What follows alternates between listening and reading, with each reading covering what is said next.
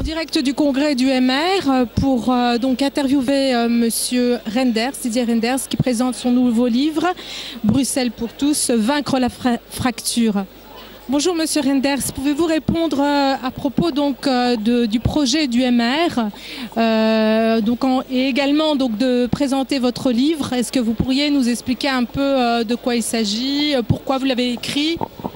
Le livre, je l'ai écrit parce que je suis arrivé à Bruxelles maintenant il y a quelques années, après y être venu tous les jours pendant 30 ans, et je souhaitais dire euh, la façon dont je vois Bruxelles à l'avenir, dont je rêve Bruxelles, dont j'imagine Bruxelles, non seulement pour moi, mais pour mes enfants, pour mes petits-enfants, parce qu'il y a lieu de faire en sorte que Bruxelles devienne une ville pour tous. Et c'est le sens de l'ouvrage, c'est vraiment de dire que l'on doit vaincre les, fractures qui se constituent aujourd'hui, où l'on voit des ghettos se constituer. On parle souvent de ghettos de personnes défavorisées. Je vois aussi des gens plus aisés qui se replient sur eux-mêmes.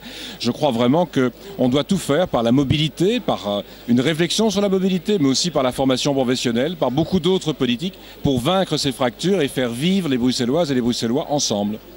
Que pensez-vous de ce congrès aujourd'hui? Donc vous avez eu beaucoup de monde très enthousiaste parce que je crois vraiment qu'on a effectivement rassemblé beaucoup de monde, mais déjà dans les ateliers le matin, c'est-à-dire euh, beaucoup de monde pour participer à la définition du projet régional qui va s'ajouter à un projet fédéral parce que Bruxelles c'est aussi le lien entre les régions du pays et à un projet européen parce que Bruxelles c'est évidemment aussi la capitale de l'Europe et on doit avoir une ambition non seulement régionale, nationale, mais internationale pour Bruxelles.